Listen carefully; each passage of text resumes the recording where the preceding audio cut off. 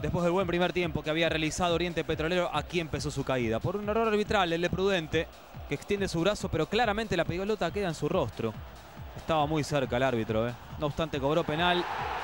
Douglas lo canjeó por gol a los 43 minutos del primer tiempo.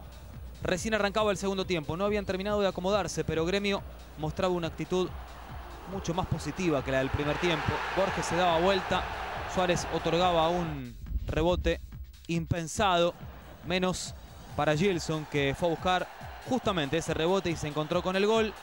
Minuto 25, desborda Lucio, define Douglas, Gremio 3, Oriente Petrolero 0.